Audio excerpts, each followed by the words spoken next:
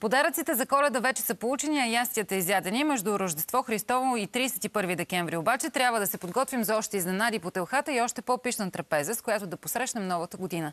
Това за някои хора е просто подготовка за още един купон, но за други далеч не е така. И ако големият парламент точно днес не се занимава с такива дребни теми, то малкият селски парламент обсъжда и това.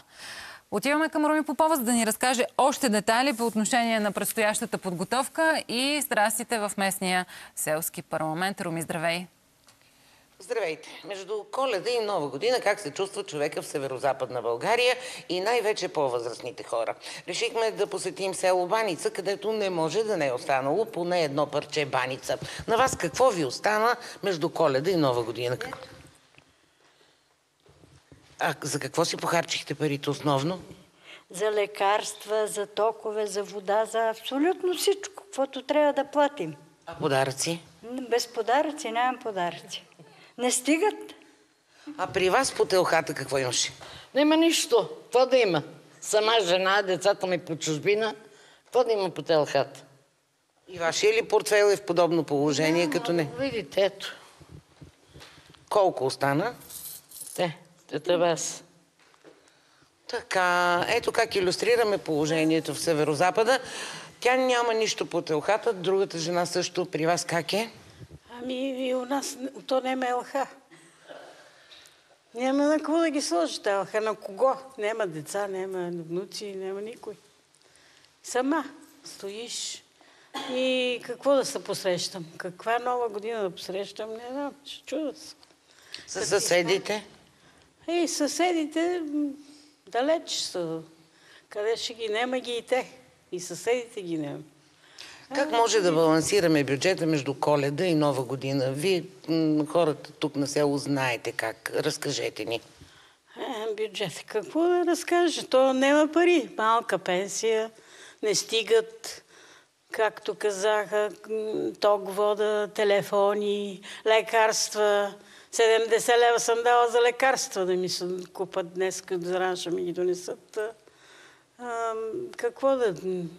Тока много, водата. И, така. не остава за И празник. не остава за празник. Нема и, нема и да го правя. Какво ще правя? Няма нищо. Какво да правя?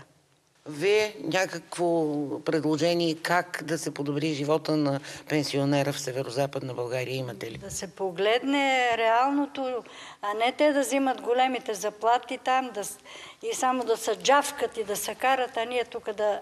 На вас как ви минава празника? Така, вкъщи, дойдем до пенсионерския, постоиме, поседиме един-два часа, идеме си вкъщи сами.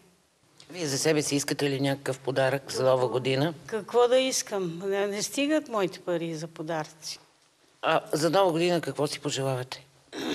Пожелавам си да съм жива и здрава и да, не, да няма проблеми нищо, да но стадат нещо повече.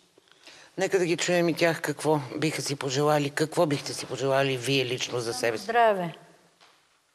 Всичко друго се оправя, но здравето е най-важно. На всички. И аз също и да ми се върнат децата от чужбина. Ще се върнат. Моя 23 Но години какво да правим там, като идем? Какво да правим? Малко тъжна се получи тази среща между Коледа и Нова година с хората от уж богатото село Баница, защото човекът в северо-западна България, който разчита на пенсия, а, живее така. От пенсия до пенсия, плащайки ток, вода, без елха, без подаръци. Единственото, което си пожелава е здраве. Да са живи и здрави. Благодарим ти, Руми, за това включване. Няма да го коментирам, защото наистина е доста, доста емоционално беше от страна на събеседниците на Руми Попова. Но пък в следващите минути ще направим връзката, защото ще си говоря с моите гости за едно последно проучване, което сочи, че българите и германците са най-нещастните в Европейския съюз.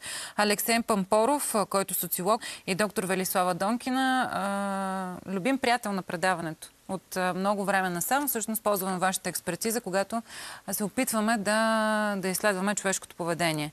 В случая видяхме нещастливи хора в живото включване на